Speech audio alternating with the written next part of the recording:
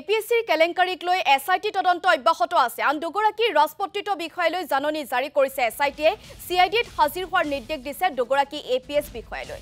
ফাৰুক আহমেদ অসীমা কলিতালৈ জাননী প্ৰেৰণ কৰা হৈছে। সাত ডিচেম্বৰত হাজিৰ হোৱাৰ নিৰ্দেশ দিছে দুয়োগৰাকী বিষয়ালৈ। ইতিমধ্যে নিলম্বন কৰা হৈছে ফাৰুক আহমেদক। আনফালে এ পি এছ চি কেলেংকাৰীত অভিযুক্ত A D C P Sukanya দাসক গ্ৰেপ্তাৰৰ পিছতেই পাঁচদিনৰ এছ আই টিৰ জিম্মালৈ প্ৰেৰণ কৰা হৈছে। সোমবাৰে ৰাজ্যৰ বিশেষ ন্যায়াধীশৰ আদালতে এছ আই টিৰ জিম্মালৈ প্ৰেৰণৰ নিৰ্দেশ দিয়ে দিনজোৰা জেৰাৰ অন্তত গ্ৰেপ্তাৰ কৰা হৈছিল A D C P Sukanya দাসক। গ্ৰেপ্তাৰৰ পিছতেই আদালতত হাজিৰ কৰোৱা হৈছিল এ পি এছ বিষয়াগৰাকীক। তাৰ পিছতেই জিম্মালৈ ইতিমধ্যে পাঁচদিনৰ জিম্মালৈ প্ৰেৰণ কৰা হৈছে বিশেষ আদালতে। আৰু সমান্তৰালকৈ যে এছ আই টি এক এই কেলেংকাৰী তথ্য আগবঢ়াই গৈ থাকে আৰু আন দুগৰাকী ৰাজপত্ৰিত বিষয়ালৈ জাননী জাৰি কৰিছে এছ আই টিয়ে। আৰু আহিবলগীয়া দিনকেইটাত এছ আই টিৰ সন্মুখত হাজিৰ হোৱাৰো নিৰ্দেশ দিয়া হৈছে। বিশেষকৈ ফাৰুক আহমেদ আৰু অসীমা কলিতালৈ জাননী জাৰি কৰা হৈছে। সাত ডিচেম্বৰত হাজিৰ হোৱাৰ নিৰ্দেশ দিছে দুয়োগৰাকী বিষয়ালৈ।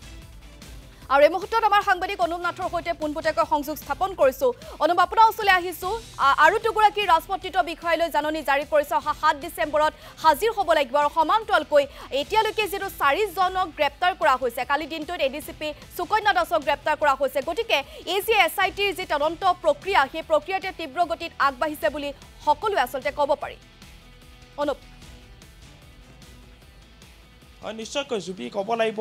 এটা কথা ক'ব লাগিব যে আচলতে বক্ৰৰেখাৰে যি ৰাজপত্ৰিত বিষয়া হোৱাৰ যি সপোন দেখিছিল আৰু আঠ বছৰ অৰ্থাৎ ন বছৰ বৰ্তমান চলি আছে আৰু তাৰ পাছত ৰোষত পৰিছে অৰ্থাৎ ৰাজৰোষত পৰিছে। গতিকে এটা কথা ক'ব লাগিব এই মুহূৰ্তত যে বৰ্তমানলৈ যিহেতু চাৰিগৰাকীকৈ ৰাজপত্ৰিত বিষয়া A P S A C S বিষয়া এই এ পি এছ চি কেলেংকাৰীত তেওঁলোক গ্ৰেপ্তাৰ হৈছে। গতিকে আৰু তালিকাখন যিহেতু দীঘলীয়া আছে অৰ্থাৎ সাতত্ৰিছজনকৈ যি ৰাজপত্ৰিত বিষয়া সেই ৰাজপত্ৰিত বিষয়াৰ তালিকা প্ৰস্তুত হৈ আছে। আছে। প্ৰাক্তন ন্যায়াধীশ বিপ্লৱ শৰ্মাৰ যি প্ৰতিবেদন সেই প্ৰতিবেদনত এইসকলৰ নাম আছে। কেনেধৰণে তেওঁলোকে বক্ৰৰেখাই চাকৰি লৈছিল তাৰ বিষয়ে উল্লেখ আছে। গতিকে কোন কোন বিষয়াক তলব কৰা হ'ব সেয়া ইতিমধ্যে আচলতে তালিকা প্ৰস্তুত হৈ আছে। গতিকে এজন এজনকৈ বৰ্তমান যিহেতু চাৰিগৰাকীকৈ যি ৰাষ্ট্ৰপতি বিষয়া সেই বিষয়াক গ্ৰেপ্তাৰ কৰা হৈছে আৰু তদন্ত আচলতে তীব্ৰতৰ কৰি তুলিছে। যিহেতু এছ আই টিক দায়িত্ব দিয়া হৈছিল এই এছ আই টিয়ে সমগ্ৰ বিষয়টোৰ ওপৰত তদন্ত অব্যাহত ৰাখিছে আৰু তীব্ৰতৰ হৈ পৰিছে তেওঁলোকৰ তদন্ত। গতিকে যি তদন্ত চলি আছে সেই তদন্তৰ খাতিৰত কালি যিহেতু দিনজোৰা যি তদন্ত চলিছিল বা দিনজোৰা যি জেৰা চলিছিল সুকন্যা দাসৰ ওপৰত যিগৰাকী ক্ৰাইমৰ এ ডি চি পি হিচাপে নিয়োগ হৈ আছিলে গতিকে ন বছৰ অৰ্থাৎ ন বছৰ ৰানিং হৈ আছে ন বছৰ কাল তেওঁ যি চৰকাৰী দৰমহা সেই চৰকাৰী দৰমহা এগৰাকী ৰাজপত্ৰিত বিষয়া হিচাপে চৰকাৰী দৰমহা খাই আছিল।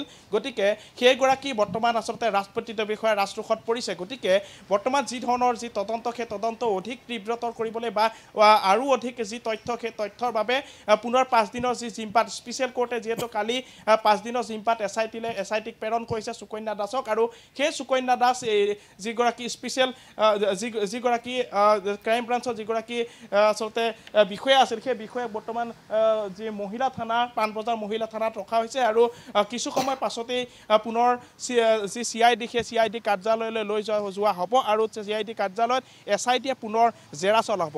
এটা কথা ক'ব লাগিব যে যি আঠখন যিহেতু তেওঁ কাকত পোৱা গৈছিল বা উত্তৰ বহী তেওঁ পোৱা গৈছিল যি আচলতে পৰীক্ষাত ছখনকৈ পেপাৰ থাকে তাৰ পৰিৱৰ্তে আঠখনকৈ যি পেপাৰ সেই পেপাৰ পোৱা গৈছিল সুকন্যা দাসৰ আৰু সেই দুখন পেপাৰ যি ভুৱা আছিল সেই ভুৱাৰ পেপাৰৰ যি কথা সেই কথা প্ৰতিবেদনত বিপ্লৱ শৰ্মাই উল্লেখ কৰিছিল। গতিকে এই বিষয়ে তদন্ত অব্যাহত ৰাখিছে বা কেনেধৰণৰ আচলতে বক্ৰৰেখাই চাকৰি পালে বা ৰাজপত্ৰিত বিষয়া হ'ল এই বিষয়ে চলি আছে। আৰু সুকন্যা দাসক যিহেতু গ্ৰেপ্তাৰ কৰিছে গ্ৰেপ্তাৰ কৰাৰ পাছত পাঁচদিনৰ জিম্বাত এছ আই টিয়ে লৈছে। তাৰ সমান্তৰালভাৱে দুগৰাকীকৈ পুনৰ যিগৰাকী ছাউথ চালমাৰাৰ এডিশ্যনেল এছ পি হিচাপে আছিলে ফাৰুক আহমেদ আৰু এগৰাকী হৈছে অসীমা কলিতা। গতিকে এই দুগৰাকীকো যি এছ আই টিয়ে পৰহিলৈ অৰ্থাৎ সাত ডিচেম্বৰত যি নিৰ্দেশনা জাৰি কৰিছে এছ আই টিয়ে হাজিৰ হোৱাৰ অৰ্থাৎ চি আই ডিৰ যি কাৰ্যালয় সেই চি আই ডি কাৰ্যালয়ত হাজিৰ হোৱাৰ নিৰ্দেশনা জাৰি কৰিছে আৰু তেওঁলোক আহিব লাগিব। গতিকে এজন এজনকৈ অৰ্থাৎ সাতত্ৰিছজনৰ যি তালিকা সেই সাতত্ৰিছজনৰ তালিকাৰ ভিতৰত চাৰিজন গ্ৰেপ্তাৰ হৈছে। বাকী এজন এজনকৈ অৰ্থাৎ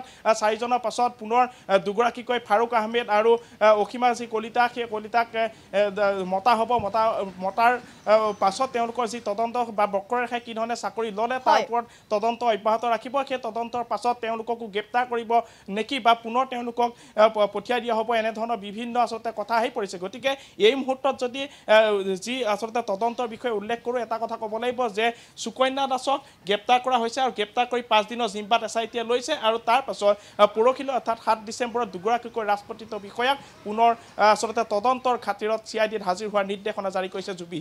হয়। অনুপ এটা কথা সুধিব বিচাৰিছোঁ। ইতিমধ্যে কালিৰ দিনটোত কল্যাণ দাস আৰু নৱনীতা শৰ্মাক জেৰা কৰোৱা হৈছিল আৰু সন্ধিয়া ভাগলৈ তেখেতসকলক পঠিয়াই দিয়া হৈছিল। আৰু বাৰে বাৰে উচ্চাৰণ কৰা হৈছে নৱনীতা শৰ্মাৰ কথা। কাৰণ এতিয়ালৈকে তেখেতক নিলম্বনো কৰা হোৱা নাই। কিন্তু নৱনীতা শৰ্মাৰ যি বিসংগতি পৰীক্ষাত সেই বিসংগতি কিন্তু সম্পূৰ্ণৰূপে এফ এছ এল ৰিপৰ্টেই হওক বা অৱসৰপ্ৰাপ্ত ন্যায়াধীশ বিপ্লৱ কুমাৰ শৰ্মাৰ আয়োগৰ প্ৰতিবেদনতে হওক সকলোতে কিন্তু স্পষ্ট হৈছে তথাপিও কালি দিনটোত তেখেত গ্ৰেপ্তাৰ নহ'ল যাবলৈ দিয়া হ'ল।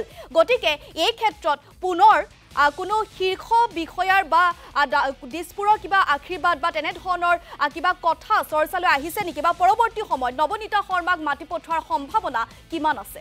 অনুপ। হয় হয় নিশ্চয়কৈ যিহেতু কালি যি তদন্ত সেই তদন্ত খাতিৰত তেওঁলোকক মতা হৈছিল। গতিকে তদন্তৰ পাছত বা যি জেৰা সেই জেৰাৰ পাছত তেওঁলোকক যাবলৈ দিয়া হ'ল। কিন্তু যি দুগৰাকীৰ কথা উল্লেখ কৰিছে তেওঁ দুগৰা তেওঁলোক দুগৰাকীক কিন্তু মুক্ত মনে অৰ্থাৎ যাবলৈ দিয়া হোৱা নাই। পুনৰ। তেওঁলোকক তলব কৰা হ'ব বা নিৰ্দেশনা জাৰি কৰা হ'ব চি আই ডিত হাজিৰ কৰাব কৰিবলৈ হ'বলৈ তেওঁলোকক নিৰ্দেশনা জাৰি কৰা হ'ব। গতিকে এনেবোৰ বিষয় আচলতে চোৱা চিতা কৰা হৈছে বা এছ আই টিয়ে যি ধৰণৰ তদন্ত আগবঢ়াইছে সেই তদন্তৰ খাতিৰত তেওঁলোকক তেওঁলোকক গুচি যাবলৈ যদিও দিয়া হৈছে কিন্তু তাৰ পাছতো পুনৰ যদি চি আই ডিয়ে মতা হয় বা এছ আই টি যদি তেওঁলোকক তলব কৰে তেওঁলোক আহি হাজিৰ হ'ব লাগিব আৰু তেওঁলোকৰ ওপৰত যি তদন্ত সেই তদন্ত অব্যাহত থাকিব। কিন্তু এই মুহূৰ্তত যদি আমি কওঁ সেই দুগৰাকী সেই যি দুগৰাকীৰ কথা আপুনি উল্লেখ কৰিছে নৱনীতাকে হওক বা আনগৰাকীৰ কথা যি উল্লেখ কৰিছে সেই দুগৰাকীও এনেধৰণৰ বক্ৰৰেখাই যি চাকৰি লোৱাৰ যি কথা এই যি বিপ্লৱ শৰ্মাৰ প্ৰতিবেদন সেই প্ৰতিবেদনত স্পষ্টভাৱে উল্লেখ আছিল। গতিকে তেওঁলোকৰ যি তদন্ত সেই তদন্ত এই বৰ- বৰ্তমান আচলতে শেষ হৈ যোৱা নাই ক্ষিপ্ৰতাৰে আগবাঢ়িব। পৰৱৰ্তী সময়ত হয়তো যি এছ আই টিয়ে তেওঁলোকক তলব কৰিব বা চি আই ডি কাৰ্যালয়লৈ মাতি পুনৰ তদন্ত আৰম্ভ কৰিব। হয়। অনুপ এই মুহূৰ্তত আপোনাক ধন্যবাদ জনাইছোঁ। আপুনি খবৰ ৰাখক। পৰৱৰ্তী সময়ত পুনৰ আপোনাৰ ওচৰলৈ যাম। আৰু আজিৰ দিনটোত এয়াই খবৰ যে দুগৰাকী আন ৰাজপত্ৰিত বিষয়াক যিহেতু জাননী জাৰি কৰা হৈছে ফাৰুক আহমেদ আৰু অসীমা কলিতা অহা সাত ডিচেম্বৰত এছ আই টিৰ সন্মুখত হাজিৰ হ'ব লাগিব। আৰু সমান্তৰালকৈ কালি দিনটোত A D C P Sukanya দাসক যিহেতু গ্ৰেপ্তাৰ কৰি আদালতত হাজিৰ কৰোৱা হৈছিল পাঁচ দিনৰ বাবে আ, যি আৰক্ষী জিমালৈ প্ৰেৰণ কৰা হৈছে আৰু এই পাঁচোটা দিন মাৰাথান জেৰা অব্যাহত ৰাখিব সুকন্যা দাসক।